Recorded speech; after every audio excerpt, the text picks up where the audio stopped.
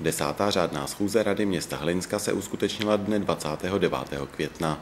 Radní schválili například uzavření smlouvy o provedení odborné a laboratorní expertízy mezi městem Hlinsko a zdravotním ústavem se sídlem v Ústí nad Labem.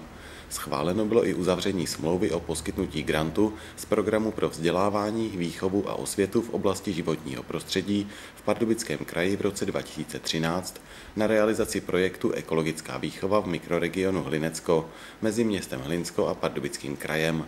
Rada stanovila termín konání mimořádné inventarizace majetku města Hlinska, vypůjčeného a pronajatého příspěvkové organizaci města Městská sportoviště Hlinsko k 30.